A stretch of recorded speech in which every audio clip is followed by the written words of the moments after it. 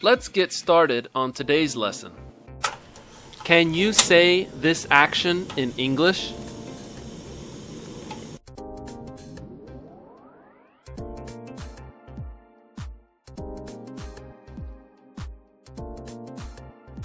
She is turning the portable gas stove on. To increase and decrease the size of the flame, we use the terms turn up the gas and turn down the gas. She is turning up the gas.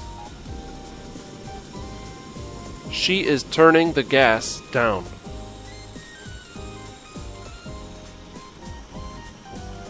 How do you express this condition? As you can see, the flame is quite small. In this case, we say that the gas is on low, or that the stove is on low.